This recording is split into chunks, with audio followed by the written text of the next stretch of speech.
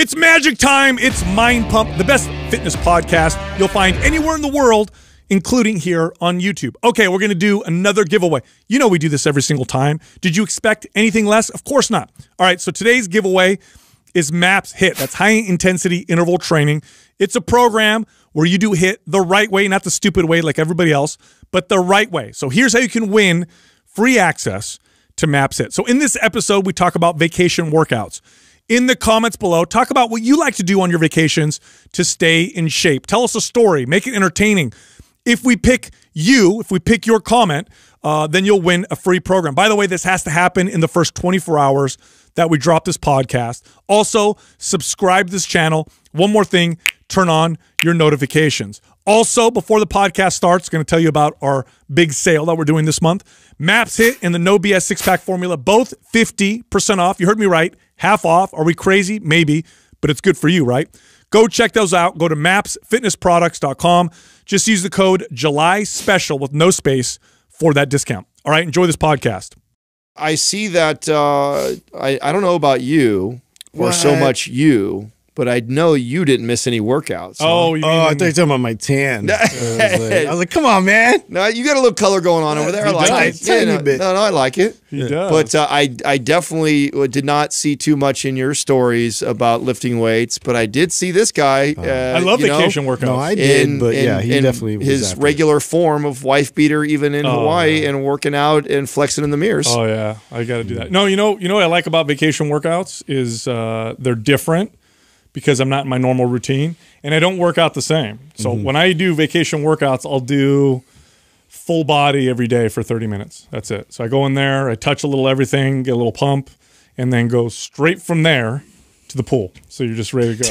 yeah. you are that, guy. is the You know what I'm saying? move, It is though. pump- Just it walk right to the pool. Makes so much uh, sense. I'm ready sure. to go. Yeah. No, I think that if you do that daily, like 30 minute, just get a little Now, were you guys all at the pool and stuff together? So did you? Would you be out of the pool and you see this guy walk in with a Oh, pump, yeah, he's coming out like vein the- out of the his shoulder and stuff you like know, that, like it's all natural, like he just woke up? Oh, dude. Yeah, yeah, it's okay. I, I mean, I pulled that trick a few times. I, maybe were like every other day. Yeah, we, we would work out first thing in the morning. Yeah. and then yeah, load up, and then you look pretty, you know, puffed out around the pool. Dude, so you did train? You trained? did, yeah. Okay, every day or every how- other day. Oh wow! Yeah. Dude, I tell you, if you do like a third, like a twenty or thirty minute kind of full body, if you because usually if you go on vacation, you're not going to have a power cage. You're not going to have typically barbells. You'll have either dumbbells and then some machines. Yeah. So you just do like a tw- 20, 30 minute, get a little pump. That's it. Every single, mm. just start off your day that way.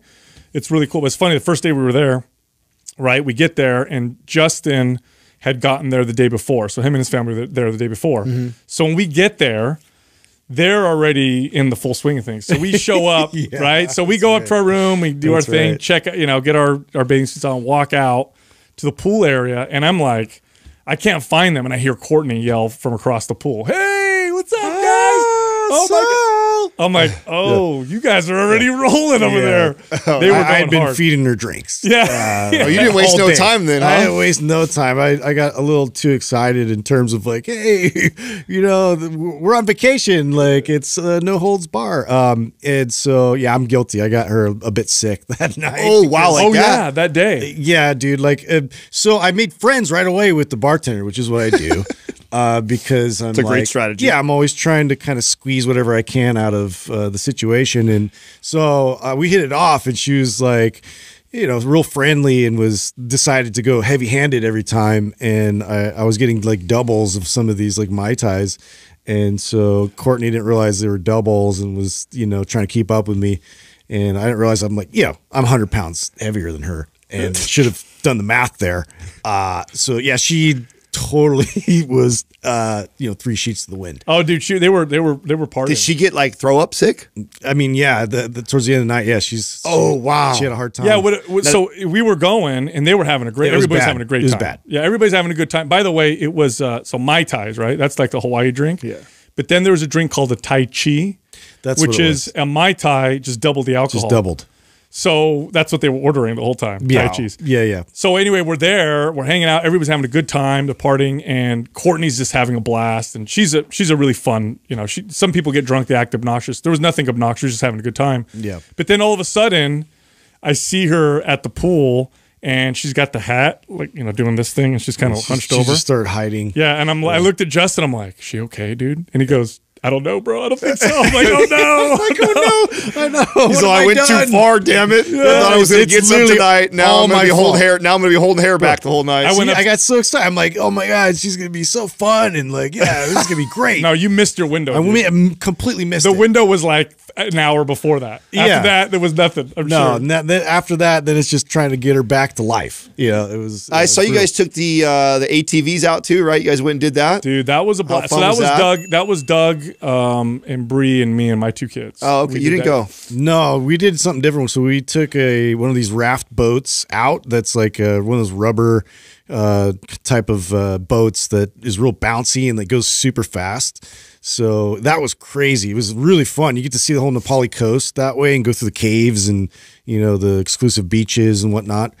Uh, but yeah, it was it was like hard because you have to you have to hold on to this rope. And if you're in the front like the front end like bounces a lot off the waves. So they were like launching off these waves and Oh, really? made it like super fun. It was like um like a roller coaster you know like you're going through along the coast. Uh but yeah I wasn't ready for that. And like my pinky got all tore up and everything I'm like oh my god Now, did is you guys? Uh, was it rare that you guys did stuff all together, or did you guys all kind of go off and do your own thing? Or were you together most I'd of the time? probably half and half. Yeah. Oh, okay. Probably something like that. I'll tell you what, though, if you're going to go on vacation with the Andrews family, don't do a hike with them because they always. this is like the third time now. yeah it is They go hard, bro, on the hikes. Like did we just go So we went. We, we all did. I'm like, let's go see Waimea Canyon. So Waimea Canyon in Kauai is they call it the what do they call it the, the Grand Canyon of the Pacific, right? Be- Yeah. beautiful, right? So it's like this huge. I don't know what you would call it. It's like a, it's a canyon, and so we're driving up there, and then we get to the place we want to go to, and there's different hikes you can take. And so, you know, I I don't know if it was Courtney or Justin, like, let's take this one. So I'm like, I forgot that you don't want to go on a hike with them. So I'm like, sure, let's do this one. Bro, you take the lead Bro, it was six miles. yeah It was a six mile hike and it was treacherous. It wasn't like a trail, bro. You're like climbing down muddy like hills and climbing over boulders and rocks. Big cardio guy. Big bro, cardio guy. I'm oh, like, dude. I'm like, for reals, dude. Are we really, you know? But you got to get the reward at the end to go see the waterfall. Otherwise, what's it all for, right? So we had to keep going, is the point. That's why it extended and it kept going longer and longer. I'm like, where is this waterfall? Uh, everybody was a trooper, but my, my daughter, she was doing great. It was on the way back. She's like, her oh. face is like Ready to be super. done. Oh, her oh, face Poor was thing. super red. she was overheating. Yeah. I can't. I don't know if I can make it. I'm like, you're gonna have Every- to. 'cause I can't everybody was wiped out from Yeah. this. Well, I imagine. I mean, a six mile hike uphill like that. So six mile total or six mile Total. Oh, okay, so three there, three back, Yeah. which is still a good hike. Well, yeah. I mean, remember it's humid. You're in. you Well, know, and I'm also thinking. I'm thinking of the kids, right? I expect you to be able to figure that out. Yeah, it was fine. It was fine, but it was a little. Like, I mean, it was. There were definitely some areas where you're like you worried a about bit. falling and shit.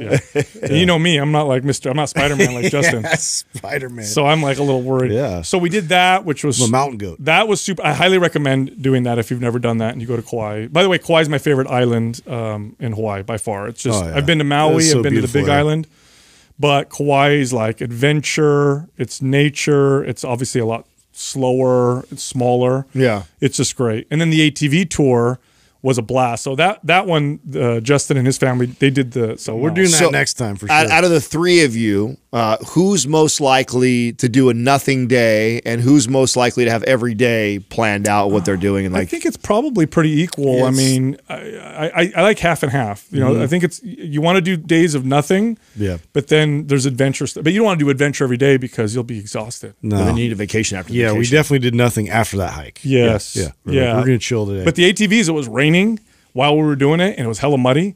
And Doug, so Doug and and Bree were behind us in their ATV, and every once in a while they would stop, and then they'd have us go, and I'd wait for the guy in front of me to go a little bit so I could gun it and kick mud up it. Doug. I knew you were doing that. I know. Miss, Where's you this mud coming from? and I'd, I'd, you know, I'd go squirrely in the thing or whatever. Now, was this Bree's first time? ATV? No, no, first time in Hawaii. Oh, no, she's been to Hawaii a couple times. Oh, she has Yeah. already. Okay. Was there any of the kids first time, or they? my they, kids. There Yeah. was their first time. They'd never been there before. Yours yeah, too, or- mine too. So, uh, well, uh, Ethan was there before, but he was like an infant, so it didn't really count. But yeah, they, this is the first time that they actually like were, you know, aware that where they were. Yeah, I'll So- tell you what though, um, island time is a real thing. Oh, That's- yeah. it's real. Yeah. Like you come from the Bay Area, which this is you know the hub of tech for the country, maybe the world. Lots of speed, people. efficiency, Yeah. you know, productivity. Everybody's like move, move, Hawaii's move. the opposite. Oh, dude, No, no, they no. don't care, bro. They're just chilling, taking their. At first, you're annoyed. You're like, Yeah, on. nine o'clock means sometime within nine. oh, bro. It could be nine Means fifty-seven. ten thirty. yeah. well, I found I found myself. It's funny. So like you know, I'm waiting in line for something, right? I'm in paradise. It's gorgeous, right? I'm waiting in line, and I'm annoyed that the person at the front is talking to every single person they're checking in or whatever, taking their time. You check yourself. And then I'm like, wait a minute. Yeah. Like I, I'm I'm rushing so that I could do nothing later. I can do nothing now. Look Totally. around. You know. So after about three days, then you start to settle into. You just have to factor it in. Yeah. You know, you just got to figure that out. But he- in terms of like also the time difference there too, it took Yeah. me, I'm glad I had like the weekend to before I got back to Oh. work here because I was like still just like off completely. Like my sleep's just Oh, been off. Three hours. Yeah. It's a three hour difference. Yeah, yeah. I was waking Which up. was at- nice. I was waking up at 4 a.m. every morning over there. Yeah. Oh, wow. Without, yeah, just automatically. so were you training early in the morning? Is that when you were getting your lift in? No, I would wait till about six or seven. So I just stay in my room and watch TV, hang out, Oh wow. and let my kids, you know, hang out or whatever. Um, but then I got home, right? So you're talking about settling in. Check out this shit show, right? So come home, I get back. It's like 10:30 when we finally make it back from the Well, airport. while you were in Hawaii, your wife was moving your house, right? She was. So yes. So I don't know how You you. I don't know pulled the how you. ultimate I have no right idea here. how you pulled that one. It That wasn't was planned. Amazing. No, it wasn't planned. We, we actually had planned on everybody going together. Yeah, and you're still married, right? Yeah, You're- no, okay. yeah, barely. That's No, I'm just amazing. kidding. no, Still wearing the rings. yeah, we we planned on everybody going, and then because we were having all those challenges with the baby Yeah, and yeah. sleep and all that stuff, and then Jessica was looking at the schedule. You're like, I'm "Oh, gonna throw a move at-" on top of that too. Let's Well- see. Let's see how savage she really Well, is. no, the move didn't. The move wasn't even in the picture. Remember when we booked all this? We weren't even didn't know we were going to move. Yeah. Then that's when our landlord's like, "You guys got to be out at this time. Looks like I'm going to try and sell the house." So, and this is already after Jessica said she wasn't going to go because the baby's sleep and stuff. She's like, you know what? I'll just stay out. So it wasn't like, it wasn't like, hey, babe, you know the move. You do that. I'll, I'll go to Hawaii. I'll go to Hawaii. Yeah. But anyway, no. I know it looks like that, but that's not really what was going Yeah. on. no, but we you know we hi- we hired movers. My parents helped. Her parents uh, came and helped. So she had a lot of help. But still, it's moving and it's still chaotic and Yeah. you know it's a pain in the ass. But anyway, we get back right ten thirty at night. I'm like, okay, I'm home. I'm excited. I haven't seen my wife uh, for a week. I'm excited to see her. Excited to see the baby. Right. So we pull up in the Uber, and she's walking out. Which it's it's ten thirty. I was expecting her to be either in bed or I don't know. So she's walking out, and she's got this look on her face of like terror. I'm like, what is going on? So she comes out. I open the door, and she goes, "I'm trying not to freak out right now." I'm like, "What happened?" So it's a new place, right? New house Yeah. she the door to the garage locks so the door closes on its own it locks so baby's in bed oh, upstairs She's locked out. she walked out to greet us locked us out of the house so the baby's in the house locked out Oh no. yeah dude and i'm like what so I, i'm like okay let's let's see what's going on let's stay calm which didn't last very long because now i'm like You're grabbing a rock. Yeah. yeah so i'm like calling the landlord like hey do you have you know but they're not answering because it's 10.30 at night Right, right. I'm like, do, who, do we go to the neighbors? Like, what do we do? Going around the house trying to figure. I'm like, I'm gonna have to break a fucking window. Like, Yeah. what am I gonna do? Definitely not gonna let my kids. Like, especially if she had the monitor with her. Yeah. Thank God the baby didn't wake up. If he started crying, Then you would have done oh. something. she would have drastic. dude. Oh, she would have juggernauted through the wall herself. I know my wife. So I'm like, oh my god, what do we do? Luckily, the front door because they had been moving. So you know how the front, like your front door has two doors, right? Oh, the bottom wasn't wedged in. So you know how the, the bottom and top on Yeah. one has to be wedged. They left the top one not in, so it was still wedged, but I, I there was enough give where I thought maybe if I push hard enough, I could get the deadbolt to. Yeah. And I'm like, and if it breaks, it breaks. What are you gonna do, right? So I'm like, push, push, push, boom. I came in, nothing broken. I was like, fuck. Oh, Thank God. That was that was that was A coming little stressful. Oh my gosh, dude. we had one last night, man. So last night, uh, Max is now crawling out of his bed. So it's official. Um, three man. o'clock in the morning, I hear this loud thud. And I jump up and I, I wake Katrina up right away because she normally, like I've told you guys before, she's obsessed with the Nanit camera and she's got the monitor like right by her ear. So like he breathes weird. She normally wakes up, you know, sits uh, up wow. and then checks on him. So the fact that I hear this loud thud and she's still asleep, I'm like, huh? So I like shake her to to grab her the monitor, and so she grabs it, and sure as shit, there he is walking in the in his room to go open the door and come into our room. So she gets up and goes get him. I was watching it this morning. He like fell head first. So Oh, like, you, so you showed me. yeah, He so flipped over the. yeah, he flipped over and landed, and luckily he tucked his head so he didn't hand like land right on his skull, but flipped over, landed on his back, loud thud. So yeah, I think we're gonna. Um, I think So what you got to do? You got to put it out just a regular bed. yeah, well, he so the bed that we have is one of those convertible ones, right? Starts off as a crib and then it moves. I think it has like three you didn't stages. Even take one of those railings off, right? And yeah, just have it open. Yeah, yeah. that So it ends up Yeah. being like, a, and it actually turns. I think so. There's rails on the side, Yeah, but we then not on the like that, not on the end or whatever. And then I think it converts one more time after that.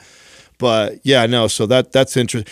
We're going through like this growth spurt right now too, or, or regression where his his sleep is off and he's weird and he's trying to talk right now. We're definitely in this this weird couple weeks right now of him trying to make a, a new leap. Well, So- now this because now you're going to change the bed. You're going to deal with the. He's going to come into your room Yeah, for sure. in the night because now But- he's got the freedom to. But Yeah, you it'll- got to go in that direction eventually, right? And it's like he's already proven he can climb out. Yeah, it'll so be interesting because she was concerned. I feel like we did such a good job of building a routine to him that it's not going to change that much. I mean, obviously, yes, he'll be able to get up, and I know we're going to have to deal with that a little bit. But I'm hoping that because we've done, I mean, we we were able to put him in bed, and he'd still he, like he's awake when we put him down and say good goodnight and walk mm-hmm. out. And he doesn't cry, and he kind of you know rolls around and falls asleep. Every once in a while, when it, we've been on vacation or something, I stay in there and kind of hold his hand or whatever, and then he kind of falls asleep. So. I think it'll stay constant where it'll be the nights that he does wake up in the middle of the night. I predict that he'll get up, but luckily he sleeps through the night 90% of the time. It just happens to be we're going through another one of these little regressions, which is the inevitable. Like this, and you know this as you're going through, and, and you're probably got a good good streak going right now, but the inevitable happens.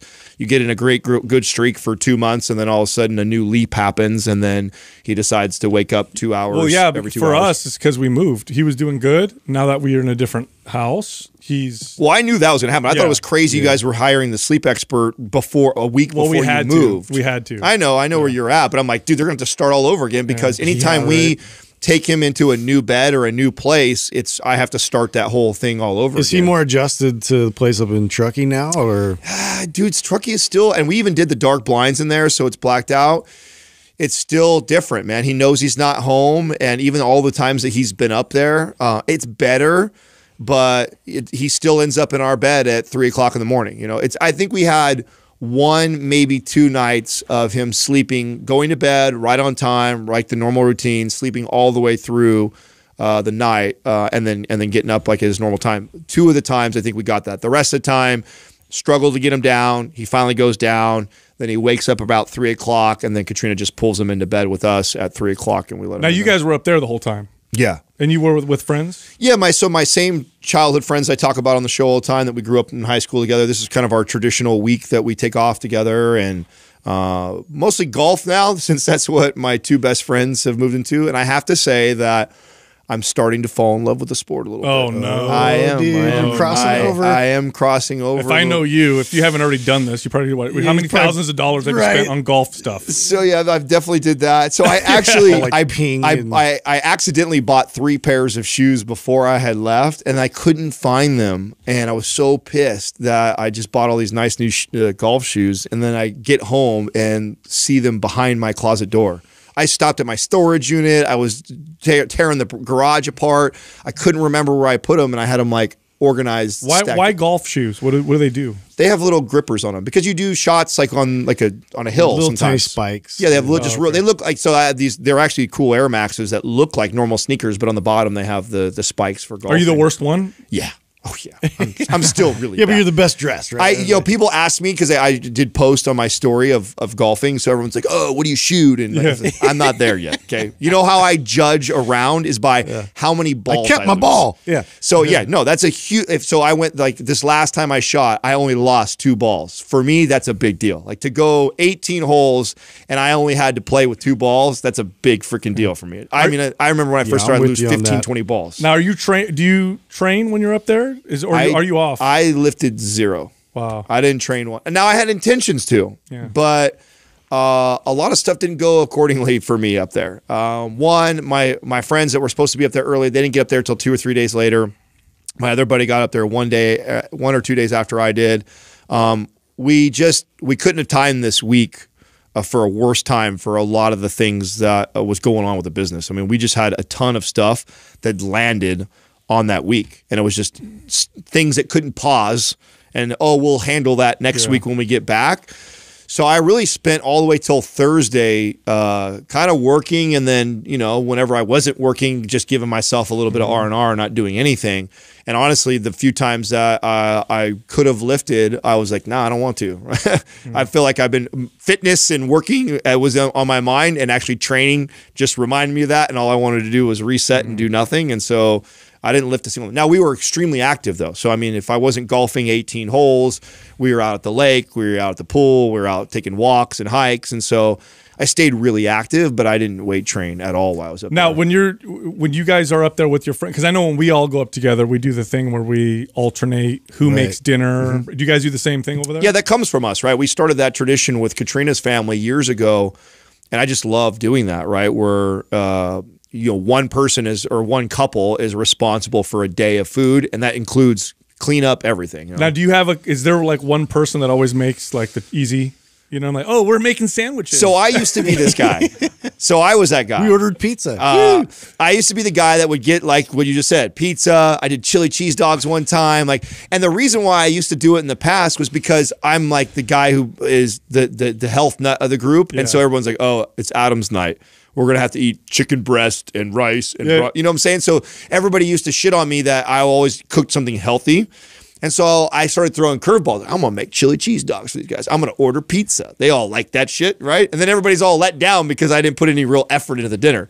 so it's kind of tradition that you kind of bring it, you know. So it started off as like whatever, but what's kind of neat about it when you've been doing it for a long time, like because and you only have to do one major meal, you know, everybody seems to bring their A game. So I actually smoked ribs is what I did. So I did, and Doug had set me up with the. Um, rib racks. Is that what they just were there? Yeah, I call him that. So it, wa- it so you know his little smoker. Yeah. You really can only fit like two two racks of ribs in there, but I could fit four, uh, double the amount with these rib racks.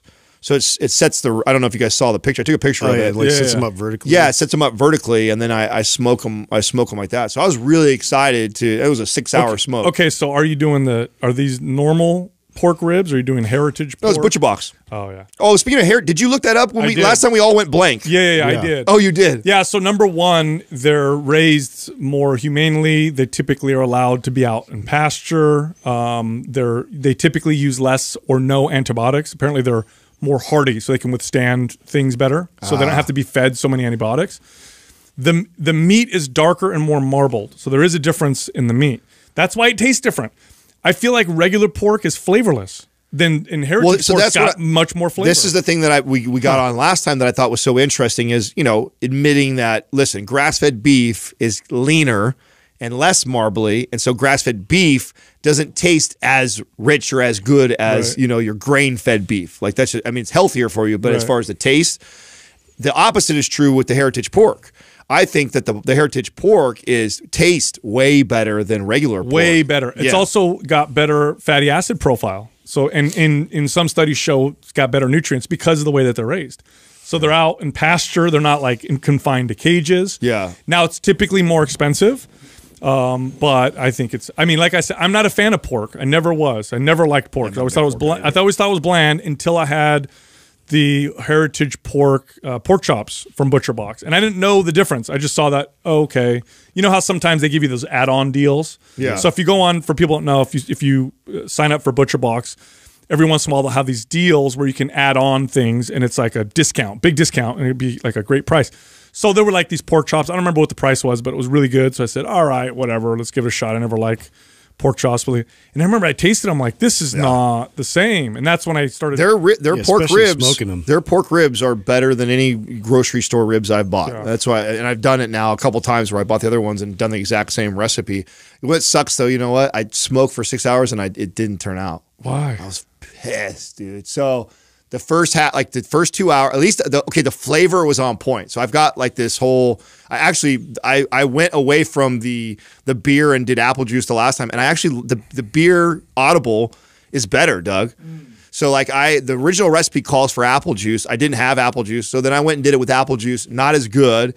The original beer audible that you called, so I went back to that because I just liked the way that tastes. And uh, again, the flavor was on point. The meat sucked, and the way the reason why the meat sucked was the first two hours is all about your flavor. That's when you that's when you are, are you season it. That's when you smoke it for two hours. That gives the the ribs the real good flavor, and then you wrap it in foil and you cook it for another three hours, which is what makes the meat just fall off the bone.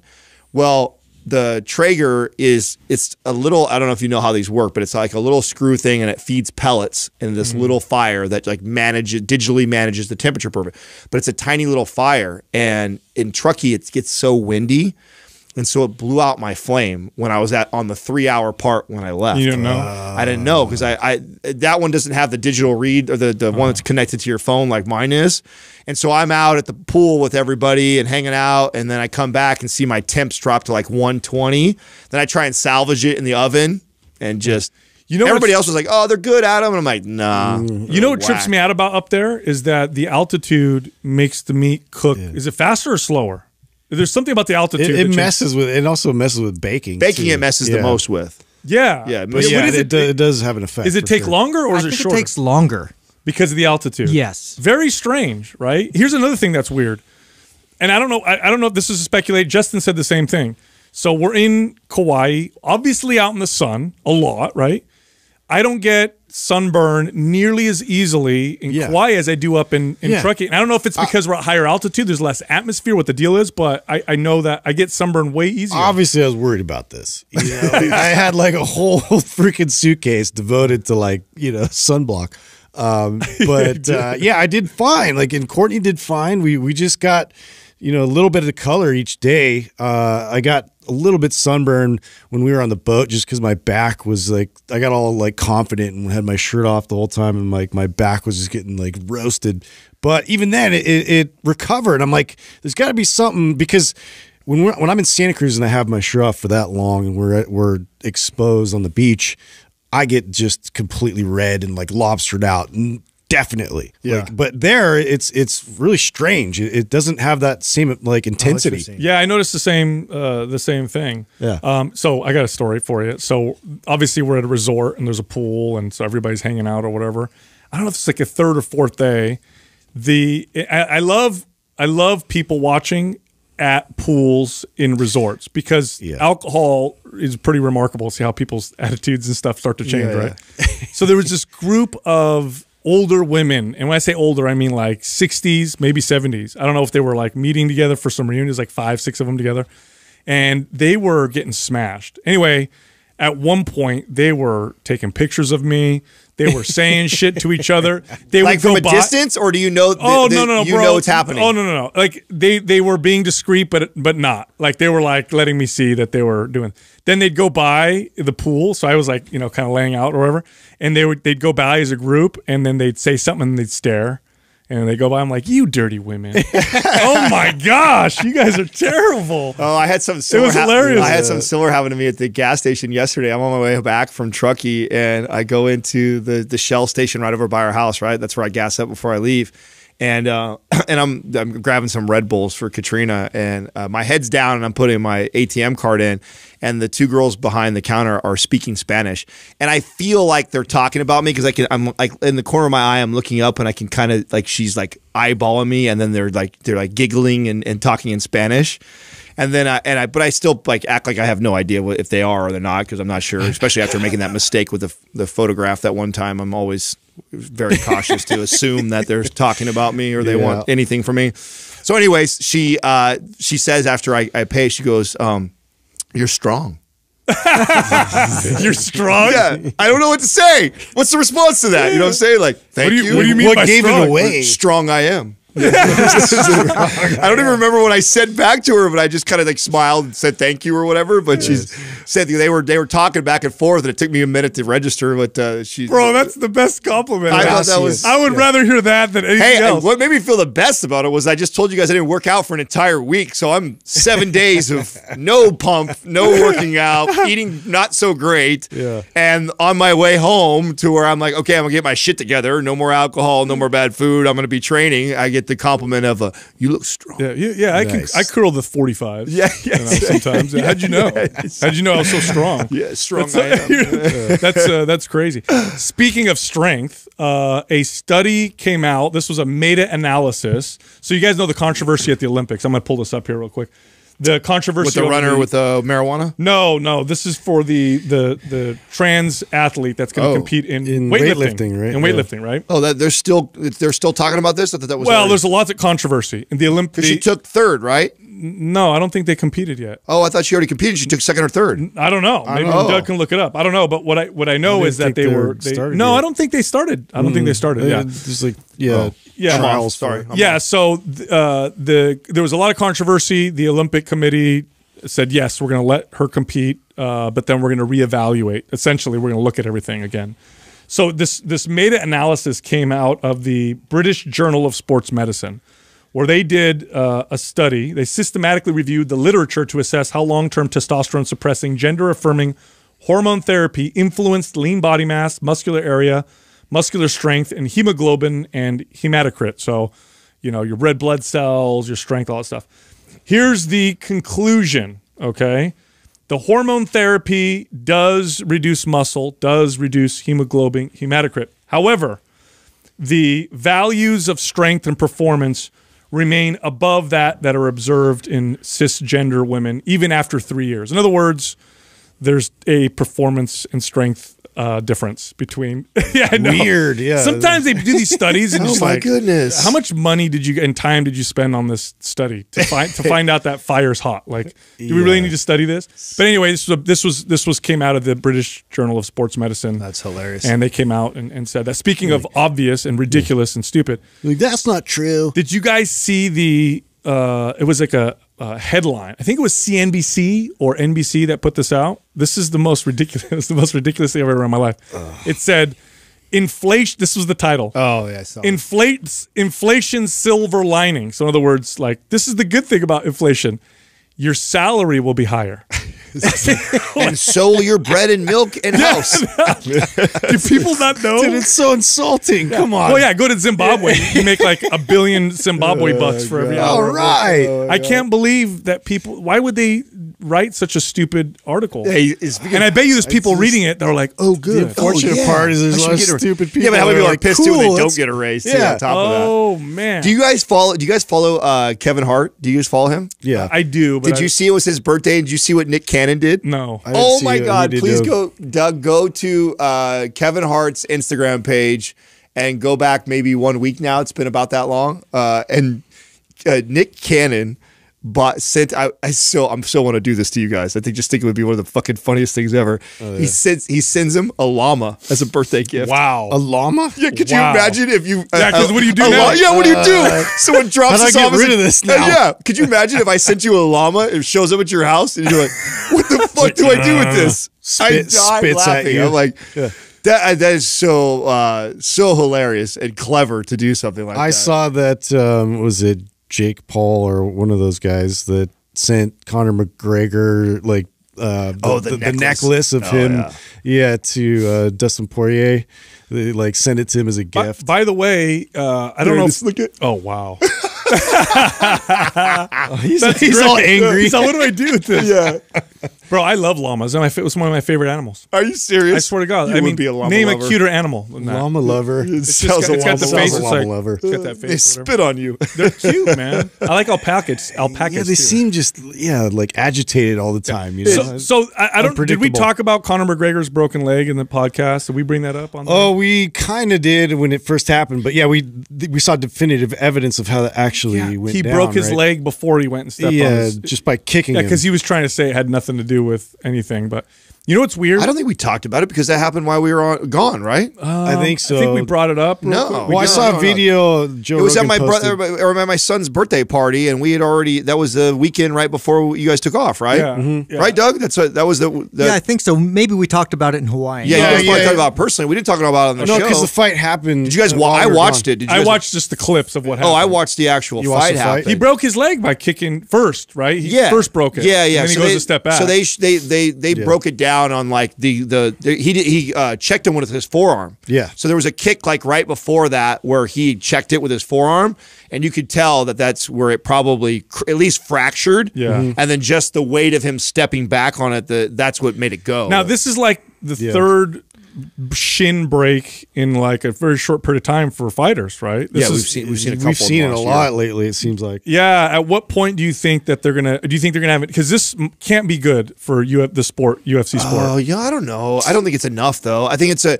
I think it's happened to a couple big name fighters in the last year, and so Mm-hmm. it seems like a lot. But I think statistically, the still the. the I know that's likelihood of that- logical, but oftentimes they ban things because Yeah, but isn't M- MMA is still considered like one of the safer sports, right? You're right, but what I'm saying is it, one of the reasons, for example, hmm. that bare knuckle boxing is illegal everywhere is not because it's more dangerous; it's because it's more bloody. It's more gruesome looking. yeah, you you get more cuts. barbaric. Oh, so that's is your what they theory? probably think, yeah, and so what I'm saying is, oftentimes they like. Okay, you guys remember Pride? Mm-hmm. Pride allowed uh, head stomps. Didn't so they- if someone was on the I- ground, Didn't they used to eye- eye gouges soccer No. Uh, kicks, do dude. Like when you're trying to get up. Oh Fish hooks, you could do. no, they so tho- those are the only things that were banned actually in the very Oh, first is that what it was? Maybe Yeah. that's what it was. Those are the only two things. You can't eye gouge and you can't fish, Fish hook. hook. Everything else was yeah. like- in fact, you could kick someone in the balls. There was a there was a fight with a guy named I think his name was Joe Sando, or no Joe San. In his martial Pride art doesn't called fuck around, Joe dude. Sando. That was his martial art, Uh, and he got in a position. The dude literally just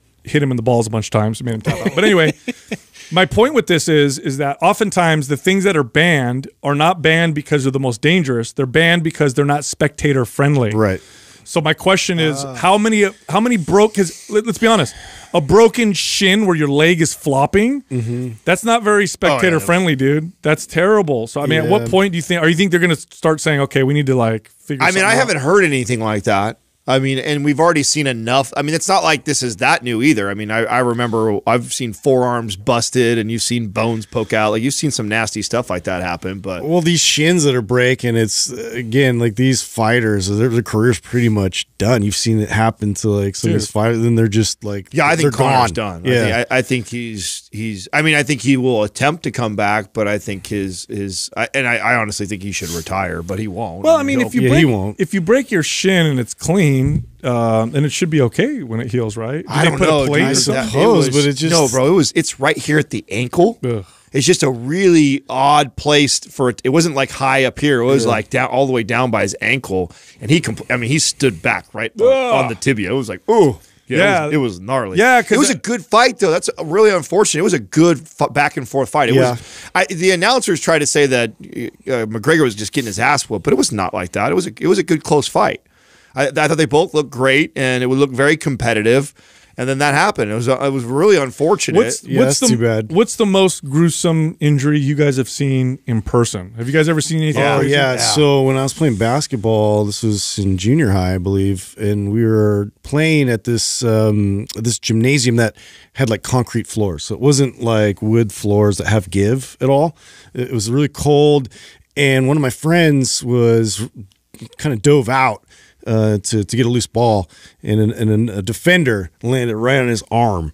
And literally, like I don't know if you call that a compound fracture, but basically, like it popped out of his skin and it snapped in half and then his arm was hanging like this and his bones were, were out like this and he looks over at me looks down and then he, he starts Passes out. screaming oh, to say. which you know like if he's looking directly in my eyes he's like ah and i'm just like ah and we had this exchange and then i had to leave like i was like feeling like lightheaded and, and woozy like i was gonna puke because i've never seen anything like that before Basketball was mine too. How crazy is that? I was in. Uh, I was a sophomore, and so we had just finished our game, and varsity was playing, I was heading in, in the gym. I was heading over to you know like most games on Friday, right? Have uh, like a nachos and soda area like that you can right out right outside the gymnasium or whatever Yeah. that you can get stuff. And so I just picked up some nachos and like a soda, and I'm walking back, and the, it- it's a fast break that they're coming down the the doorway that I'm. So I'm standing right here. The hoop is like right here to my right. I stop at the doorway because it's a fast break. I don't want to disrupt anything by kind of cutting around. So I, my buddy and I are standing there waiting, and this dude, uh, big tall white guy, probably like six seven or so, white guy, real lean and he gets a fast break and he goes to do a 360 dunk. And he plants his right foot to go do a 360 and his knee and foot stay that direction and he spins. Oh. And completely just it was oh you heard, you heard the sound? and his foot his foot was pointing the opposite direction. Oh. And he's laying right in front of me and my buddy. I was Those oh, ones are man. always really That was hard. nachos. I threw them No, away. I was so- couldn't even eat them I was managing the, the 24 in Hillsdale, and I'm at the front desk, and I hear, "Bah!" Like, first of all, a grown man screaming is very unnerving. It's terrifying. it's very unnerving. A grown man crying is also unnerving. I'll have a story for that too. But this guy's like, ah! and I turned to look, and there was a guy holding his forearm with his arm up like this with the other arm. Bone was sticking out, and it was like in the movies where the blood just goes. Yeah. comes out, Just and like it's like, steady and he's like, ah, and as he's turning, It's all Monty Bro, Python, you know, blood is going everywhere. I'm like, what the it's like one of those comedy horror oh wow I'm like, what the? And so I just stood there. Luckily, I had a trainer there that had some medical experience, and I run over, and then we call, you know. But, so what happened was, is he unloaded a bar improperly, so it flipped, and it flipped, and it landed on his forearm and just snapped, snapped it. snapped it in half, dude. So one, of, one of the reasons why you see me always put collars on the bar. Oh, You'll wow. always, always, because I saw that, and I was like, oh yeah. Oh, never. Oh wow. And then the other the, the other time, this was, believe it or not, this is probably more unnerving. This is when I had my gym. I had this trainer guy that that would rent space for me, and this was terrible. He was going through this really rough time with his wife or whatever, and I guess he I don't I, I this I found out later. I guess he found out his wife was leaving him, and you know he was having with found another man. Anyway, he's at the front desk, and one of my female trainers walks up to him and she's like, you know, are, are you okay? Like, come give me a hug. He goes to hug her, loses his shit, and just "Ah! Ah!" starts crying.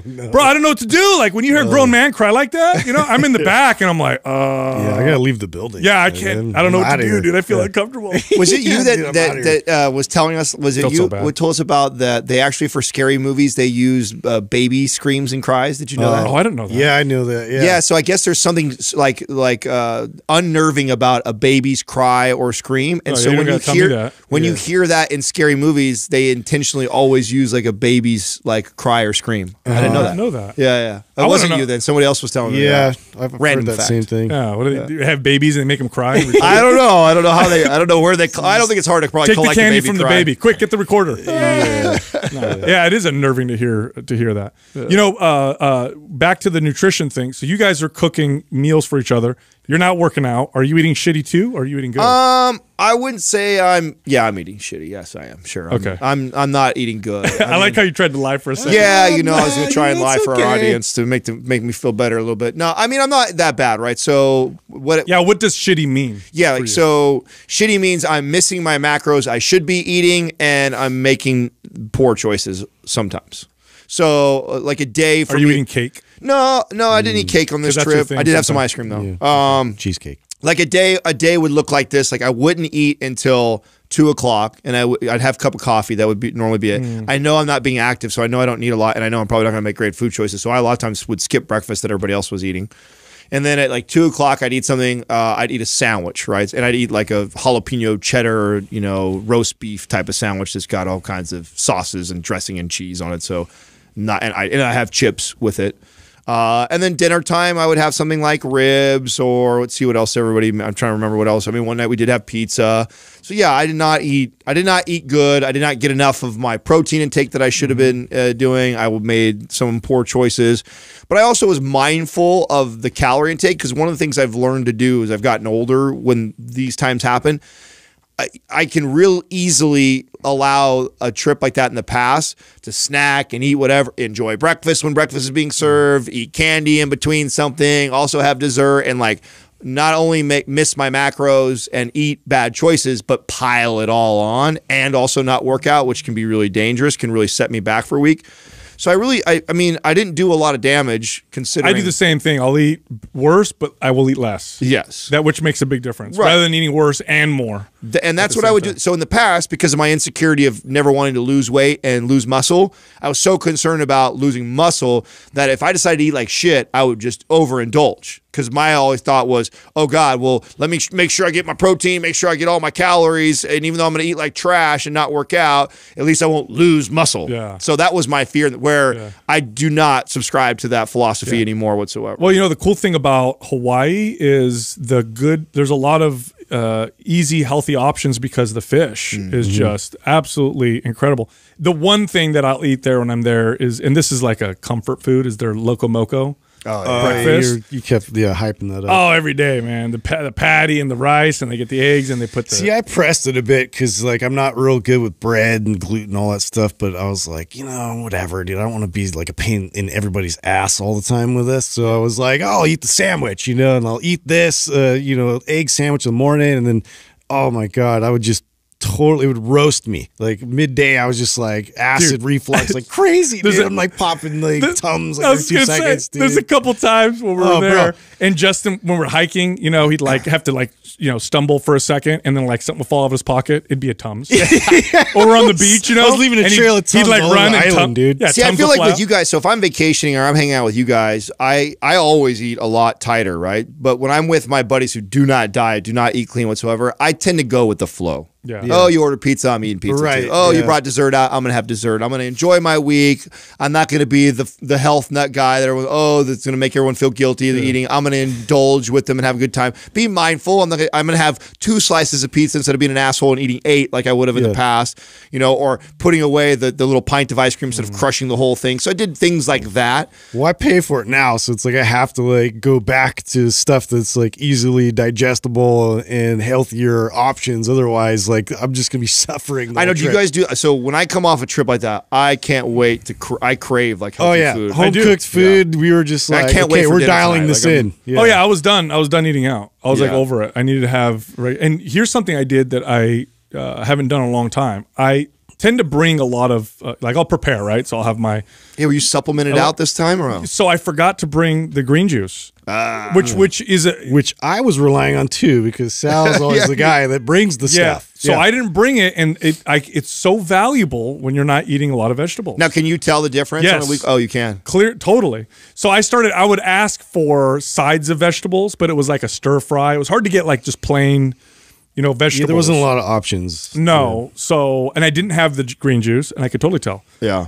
I could tell big time. Is Which- it mostly digestion, your stool, like where energy? all of like the above. oh wow. All of the above. So if I don't have vegetables, just doing a serving or two of the green juice.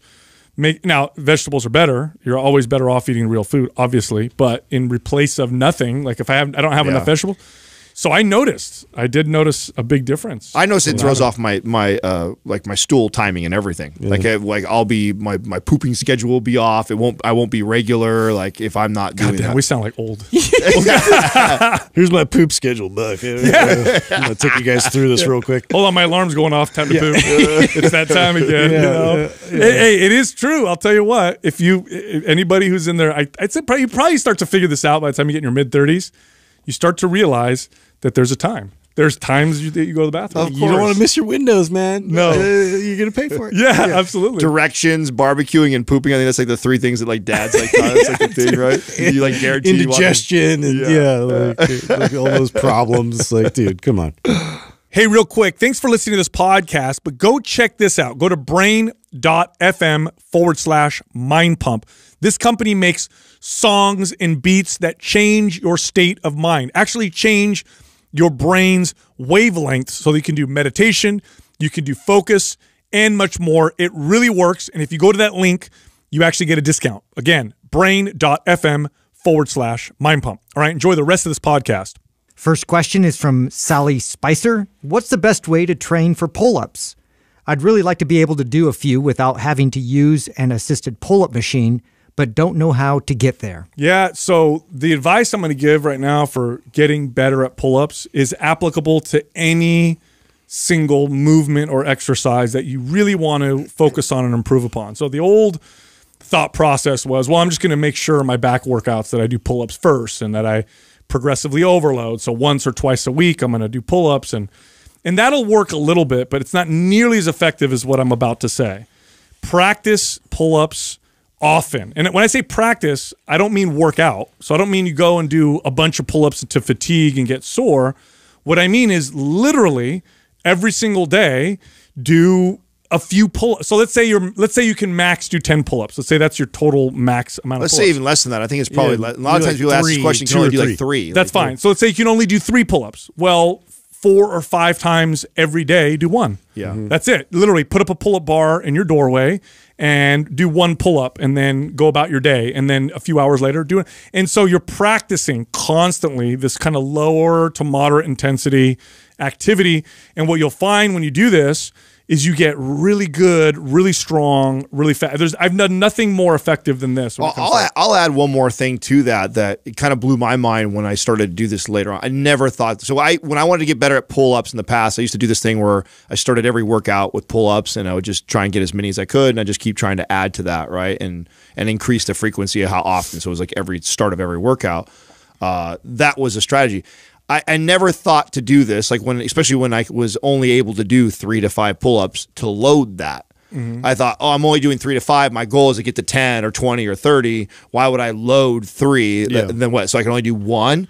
But boy, does that, I tell you what, if you, if you can do three pull ups, uh, just your body weight, but you can do maybe one loaded with 25 pounds or more, practicing with that every now and then if you complement that to your uh, increased frequency. So if i in a perfect world someone their main goal is to do get better at pull-ups the first advice i'm giving is exactly what you said get a pull-up bar in your house. Every time you walk by the pull-up bar jump up do you know a few less than what your total max normally is and do that multiple times per day every single day and it's not a workout you're practicing no, that's it. That's all you're doing. You jump up. If you're like you said, if your max is three to five, you jump up, you do two real quick, walk away. Right. You mm-hmm. know, come back an hour later, do it again, and you just do that all the time, right? That's one one piece, and then the other piece would be when you go into the gym and it's actually maybe it's back day and you're actually training your your back. I would actually start it with pull ups and I would do it weighted. I'd do it mm-hmm. weighted, and if you can only do one, it's okay. Do one, rest for a solid two minutes or whatever. Jump up, do another single like that, and get really strong with with resistance on those pull ups, and then cut the resistance after you've been doing that for a month or two, and see see what happens. Yeah, now it's a little difficult if if you can't even do one pull up. Uh, you know, because I, I do think that, that those are very you know applicable advice uh, in terms of like frequency. But um, if they do have access to one of those machines where they can actually get assistance, you know that that would help in terms of like you still want to add the frequency. So whatever you can do with with like a bare minimum amount, amount of assistance uh, you know, get a few reps, but do it, you know, consistently throughout the week. So that's something that you're teaching your body to get better at, and you're gradually, you know, bringing that pin up. So you do less and less, uh, you know, of that assistance help, um, and also rubber bands. I just say bands are great. Yeah, Yeah. for that as well. So here's something I did. With, I had a client, a female client, very athletic. She never really did resistance training, but played a lot of sports. And then she she said to me when she hired me, I really want to be able to do at least six pull-ups. That was her goal. And at the moment, she couldn't even do one body weight pull-up. Now she had big muscular legs, so she was like, a, you know, she had a decent amount of weight on her, lean, but still, it was challenging for her. So here's what we did: is I had her put a band. Around, I had her get a pull-up bar, put it in her one of her doorways. She put a band around it so she could step on the band. It would assist her doing the pull-up. And then she, I told her to do one pull-up several times a day, every single day. And she said, "Well, what if I feel like I could do much more? What if I get stronger?" I said, "Every week we'll reevaluate and add more, but I want you to start with one. I don't care how easy it feels. Mm-hmm. All week you're only doing one. The next week, so in other words." I didn't allow her to progressively overload Right. until a whole week passed. Why? Because the frequency was so high that it would have been very easy for her to overdo it. So all she was doing was just practicing one, one, one with this band. And then the next week we evaluated and then I put gave her a lighter band. I think it was like no joke, I'm not making this up. I think it was like 30 or 45 days later she was able to do five or six pull-ups. Not even be able to do one. So that's a huge very fast progression. But the key is low intensity, practice, don't work out. and then don't progressively overload for a little while. Get really good at this easy practice for a week or two, then add a little bit of load, and then continue that frequency. You could, but you could do this with any exercise. By the way, let's say you wanted to get really good at barbell squats. If you had a, a cage in your garage and you did the same thing, you went out there, did a couple reps, you know, three or four times every single day, uh, you know, low intensity your strength would explode on that as well. It's, it's a really, really good technique for improving strength quickly. Yeah, your body gets real good at it at a certain point. Next question is from Sharif Ibrahim 980. I want to grow the size of my arms. Are heavy weights and low reps better or lower weight and higher reps? Okay, so uh, so number one, there's value in both low and high reps. You do definitely want to cycle through both of them, especially if you're always training on one. But here's a general. This is not, of course, there's always a, a difference between individuals. But here's some general advice when it comes to building uh, bigger arms. Lower weight, uh, excuse me, uh, lower reps, higher weight for compound arm movements. Lower weight, higher reps for isolation arm movements. So let's talk about the triceps for a second. What would be a compound tricep exercise, right? Dips, close grip bench press. Lower lower reps, higher weight lends itself pretty well to those exercises. Isolation would be like a tricep press down, overhead tricep extension, a skull crusher. In those cases, uh, lower weight, higher reps. What about the biceps? People often they typically don't know of a compound bicep exercise. I tell you what, Pull-ups. You do it, yeah. You do a palms back, right? Supinated grip, chin up, Chin where up, you yeah. squeeze the arms at the top. That is a compound bicep exercise. Low reps, high weight with that works really well. Then, of course, any other bicep exercise, curls, preacher curls, concentration curls, whatever, tend to do a little better with the low weight, uh, you know, high reps. The other thing I would add that I I didn't learn this until maybe midway into my career was uh, the importance of manipulating the strength curve, uh, or in this case, positioning of the elbows. Right. So when you're talking about bicep and tricep, um, you where you position your elbows tends to change uh, the strength curve. So where it's the weight is most difficult for the exercise. Uh, you'll see somebody do this, and I was guilty of this, right? I would go over because I love the cable pushdowns, and I would do cable rope pushdowns. Then I would do straight bar cable pushdowns, and then I would do reverse grip cable pushdowns, and that's all the same for the tricep. Like the the the, the pronating or supinating of the wrist have uh, little to nothing to do with where where your your triceps are being stimulated or how they're being stimulated. It's pretty much the same thing but simply by taking a tricep push down with your elbows positioned by your side and then doing something like skull crushers with the dumbbells where you're lying down changes that strength curve.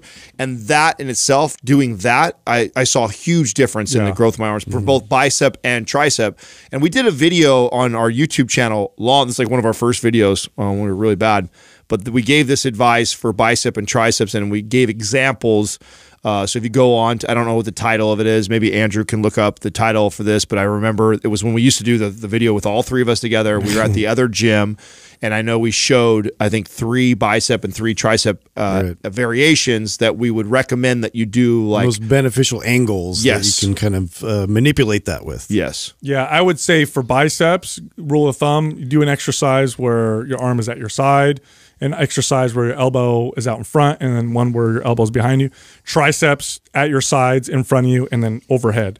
I think that kind of uh, hits everything. Um, and if you do that throughout the week, you're going to get good variety in the movements that you do for your arms, and you should get some pretty good results. Now, when somebody says arm, I mean they're they got to be including uh, shoulders in there as well because I'm always thinking about that. Well, that's a good like- point, Justin. And no, they're not. Normally they're Yeah, not, but they should just- be. yeah. Because I, I'll tell you, and I know where you're going with this is like developing your shoulders, make your bis and tries makes everything look, way better. Yeah, Oh, yeah. especially yeah when you get that definition in that uh, um, those clear lines. I think is uh, so. Don't neglect your shoulders and make. And there's so many different angles of approach for the shoulder specifically over those other 2 Mm-hmm. you know muscle groups. So uh, yeah, don't don't neglect the shoulders. Here's one thing. This is an advanced uh, technique, and when I first heard it, I thought it was complete bullshit. But then I tried it; it actually works.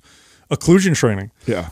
If now it's not going to replace your normal training. So if your normal programming sucks, then you can then don't worry about this. But if you've got good programming, you're doing everything right, and you want to squeeze out another no joke quarter inch on your arms, uh, which you will get from uh, from doing this, occlusion training is very strangely effective. And I say strangely if effective you- is weird. if you're doing all the things that we just named, if you are, are you're hitting the elbow positioning like we said, you're incorporating compound lifts, Mm-hmm. low reps, high reps. If you're tackling all that, adding occlusion training once a week Oh yeah. to that will will help somebody who's listening right now. If you're not doing those things that we talked about, address those things first. That will help you develop your arms. Next question is from Marco 0801. Are lifting belts necessary for heavy lifting? Everywhere I look, answers are vague. Oh yeah. You know, when I was a kid, Definitely not. working out. I remember when I was a kid working out, and I, I first started lifting. My uncles would tell me, "You put a belt on; it'll protect your back. Make sure you wear a belt. That's what you got to." Um, no, it's it's it's not necessary. Uh, now, can you lift more weight when you wear a belt? Yeah, because the belt is this external form of stability in your core. Um, it actually makes your your your core fire differently. So when you're wearing a, a especially a powerlifter belt, right? The old bodybuilder ones where they're skinning the front, that's stupid. That's kind of wasting. That's that's like you're using the belt, but then it's skinning the front, so you're losing a lot of the effect. You want one that's the same thickness all the way around. Your core pushes out against the belt, which then creates this stability, and so you can lift more weight as a result. And it changes the recruitment pattern. Your body will actually learn to stabilize better with a belt than it does uh, without a belt. And then you get stuck in this loop. Like I'm in, right? I started deadlifting, and because I trained with because powerlifters taught me, they were like always wear a belt when you when you deadlift and you squat. Now, uh, you know, I I did it for a, I did a year with no belt. And it was still felt very strange to me because I'd trained for 14 years, Right. you know, heavy wearing It's a a whole belt. different mechanism that It- you're working with. It is, but I mean, unless you're going to compete with the belt, uh, there's really no need to wear it. Now, unless you want to lift more weight, but again, that looks cool for the people around you, but it doesn't it doesn't make any difference in terms of muscle development and, and stuff like I that. I always have a hard time answering these questions because these are tools that I think we all use. But I, I also think that we would admit that it's not ideal. If I was building the perfect avatar, right? So this this client that I have a good relationship with exercise and food and is healthy and strong and the, the attributes, all the attributes of this this person or this avatar you'd want to have. Uh, One of them would be that they have no need for straps or belts. I mean, that's just a fact. I would I would want my client that I'm building from scratch to be able to deadlift their max load without ever having to use straps. I'd want them to be able to squat their max load and not have to use a belt. Now, the truth is, we all grew up in an era where we utilize these tools. Justin less than both of us, but you and I probably a lot. And so every once in a while, you'll see me pull it out of my bag, and because I want to go after it and and I want to lift heavyweight that day. Although I would still recommend it to a client that mm-hmm. it's not something that you need to do unless you are in the sport of powerlifting and it allows you to wear a belt and it's then and then it's advantageous for you to use it and train with it so you get good at it otherwise for the general pop it really doesn't have a lot of value and if anything you have to be careful not to abuse it because then it could actually hurt you yeah. Yeah, yeah, it, it definitely shifted for me. I mean, I was definitely wearing a belt, and wrist wraps were something I used for for power cleans quite a bit when I was training in high school and then going into college. Um, but it it was just one of those things. I I I had a moment there where I was trying to pick something up. And I was doing some kind of like hard labor work as some kind of construction, and I was just like, I just had no strength, even like holding this object for very long, and that really pissed me off. And I'm like, I was like a hammer? super dis. Yeah, it's like, oh god, this hammer hammer is is this so- Thor's hammer? Like, no, it's just a regular hammer that's like you know, it's not even like one pound, guy. Um, yeah, so like that pissed me off, and so I was just like, I'm over it. I'm never using these again. I just, I, I, I'm kind of like a, a hot and cold sort of personality when it comes to that stuff. Like, it, it pisses me off enough to where nothing is going to be strapped, no belts. Like, I'm going to work my way back from nothing. So I was, I just started with the basics of of carrying heavy objects like farmer walks and um, just squatting, you know, beltless, and to a point where I just I, I'm comfortable now. Like I can lift the weight that I can lift uh, without any aids, and that's where I'm at. That's my real strength. Otherwise, to me now, of course, on the other end of it, I'm like, yeah, cool, but can you lift it without all that shit? Yeah. You know what's funny about that is that so people don't realize this, but there's a skill to using a belt too. It's not like you put it Oh, on totally. Sure. and you automatically are stronger. you have to learn how to fire your muscles in order to utilize a belt. And what's funny about that is like I bet you if we put a belt on Justin now, he probably wouldn't be able to lift as well as he Oh, does I'd have a hard time with it, probably. Yes. Whereas now, where me, I'm stuck in that loop where wearing a belt, I feel Yeah. stronger. Now, I did that with straps, with wrist straps. I took them off because I was, you know, doing judo or jujitsu, and that's very grip heavy. And so I, I threw them away a long time ago, and now I'm very comfortable. But the belt, man, I've got this weird relationship with the belt where it's like, you know, it's mm. just this thing. I, it know- hugs you. Oh, So I love it. You know, it's like a friend. But no, man, I tell you what, if you want to be strong in the real world, use none of them. If you just want to be strong in the gym, then then then use them. And that's true. It's even true Yeah. for me. So I'm, it's I'm- definitely not necessary. And that's the question, right? Not at it's, all. It's beyond. It's beyond not necessary. But uh, I think we always have to clarify because I know every once in a while one of us posts a video and you see one of these tools and they're like, "Hey, I thought Mind Pump doesn't advocate for wrist straps or for belts." It's like you're running. I mean, I've got both those in my bag. I absolutely use those a handful of times throughout the year. Um, I can't even tell you the last time either one of them been pulled out. You I've probably got a video on my Instagram the last time that I actually used it. It's just not a tool that I use. I want to be able to lift uh, and squat a good amount of weight without any sort of aids or tools. Uh, yes, do I pull it out when my when I'm flexing my ego or hey, I want to push a number that I haven't seen in a long time and I know it'll help me do that? Yeah, it comes out. yeah, you know what's what's really bad is you see like uh, people like at Home Depot or construction workers, and they'll wear. Yeah, the belt. It's not like a weight belt, but it's similar, right? Where it Uh, goes. yeah, and they have almost the shoulder straps that go with it, and it's just holding them in place. Wait- really, Oh, that's terrible because it's it, you'll start to atrophy and lose strength because so wearing a weight belt when you lift, it's like a set and then you take it off, right? These guys are wearing them all day All day. long.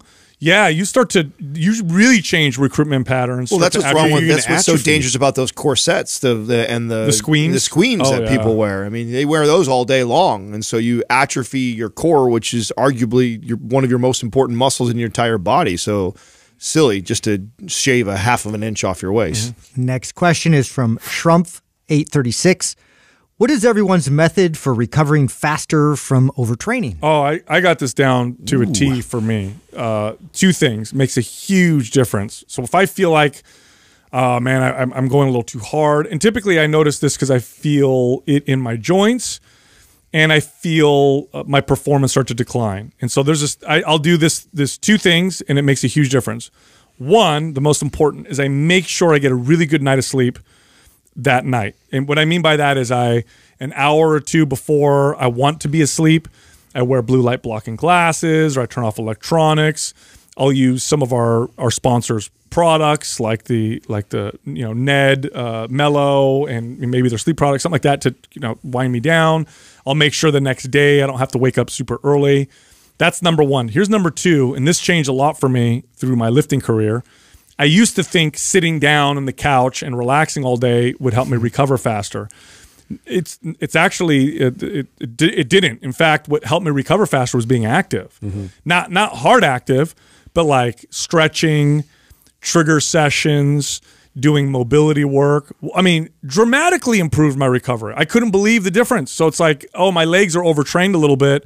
So what I'm going to do today is I'm going to stretch them, do some body weight squats, some single leg toe touches, just kind of throughout the day, move them. And boy, did that make a difference in my recovery. So I, I have things that are like perfect world, money doesn't matter, I have access to all these things. What do I do? And then I have like the big rocks, right? So like big rocks are hydration, sleep, high protein, uh, mobility, right? I can do all those things. I don't need any tools. I don't doesn't cost me a lot of money to do that. I stay well fed, hit my protein intake I'm supposed to, drink a lot of water, get down and do some good mobility work to mobilize myself and then and then get good rest. Like that is the fastest way to recover. Now, there's a lot of cool tools out there and things that we have access to that I love to do. In a perfect world, I get a deep tissue massage that night. I use the infrared uh, sauna. And then the, all the other things that I talked about with uh, hydra- hydration and making sure I'm getting enough nutrition. Like in the perfect world, I'm doing all of that. Like I get the deep tissue massage, I mobilize, I infrared sauna. I also uh, get all my nutrition I need and hydrate and sleep, and then that's like the best recovery. Now the real reality of it is not all not all the time can I put string all those things together.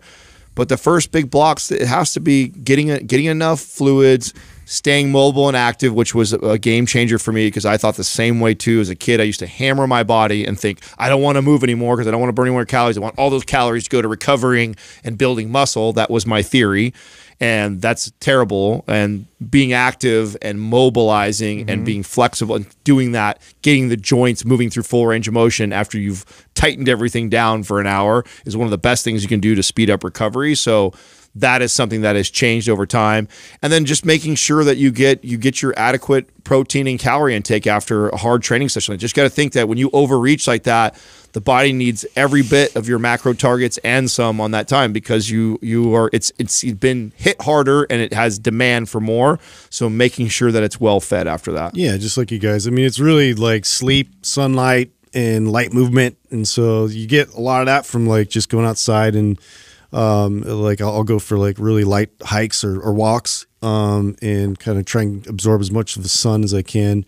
Um, get in some mobility and, and express the joints that I know that um, I, I want to take them through full range of motion just so I can get more blood flow throughout my body. Um, but really, it's it, it really amounts to that, and um, you know, trying to get slow my heart rate down. Like after I've done a really hard, if I know I've had a really tough session, I'm like, oh my god, I think I overdid it a bit. Like uh, really try to get into that calm state as quick as I can. Like even after that has has helped me to kind of rebound a bit faster as Yeah, well. it, it's strange, right? It's the it's the movement paradox. Like you think too much movement or too intense a movement, I overreached, my body's overtrained, it needs to heal.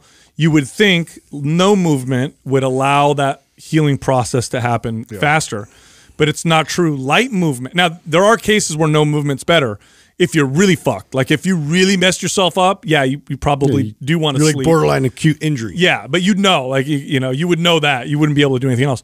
Otherwise, the, I, I remember specifically one time I worked out. This is when I was a kid, where I thought more was better, and I remember I worked out my legs so hard that the next day, this was over the summer, and what I used to do this right every summer, I was always like, I'm going to gain ten pounds by the time I go back to school. It's this thing, right? So I would hammer the shit out of myself, and I'll never forget. I I did this with legs.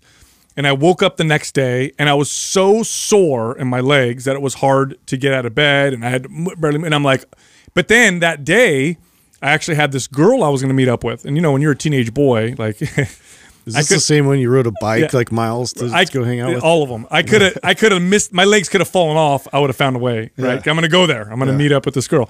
So I'm like, oh man, I got to ride my bike. She lived like you know three miles away. I'm like, oh, this is going to be terrible. Whatever. It's a girl, so I'll do it. And I remember I got on the bike, and about half a mile into the ride, my legs started feeling really good, and I was mm. riding, and I was starting to kind of piece this together a little bit. Like, huh, like, am I going to recover? And, I, and then I thought I'm going to be even more sore tomorrow because I had to ride my bike so much, and I wasn't. The next day it was way better. That's when I first started kind of putting it together. Like, oh, I think movement, and then when it really, what really sealed the deal were the trigger sessions in Maps Anabolic. When I started doing those trigger sessions. I noticed that I would just recover like crazy, and I would be able to add more volume to my hard workouts because I was doing uh, trigger sessions on a regular basis. So it's like this movement paradox. Like more movement actually facilitates recovery if you've done too much movement, which is you know pretty the right strange. dose. Look, if you like our information, you got to head over to mindpumpfree.com. Go check out all of our free guides and free giveaways. Again, mindpumpfree.com. You can also find all of us on Instagram. So you can find Justin at mindpumpjustin, me at mindpumpsal, and Adam at mindpumpadam. When you're telling your body to do something, it understands movement, not necessarily connection to the muscles. And so, to the point we were saying earlier, if you don't learn how to stabilize and connect, you're going to develop these compensatory systems where other muscles are doing more work. And then if you push past that and you keep working out, now you strengthen